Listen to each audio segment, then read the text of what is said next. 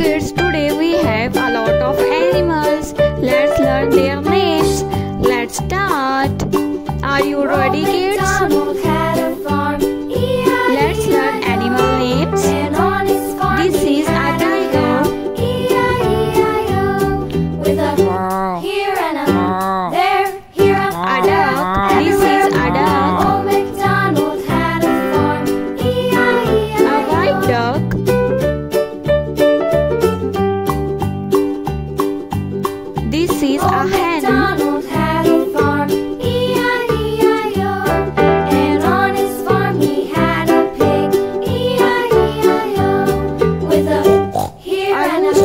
This is our story.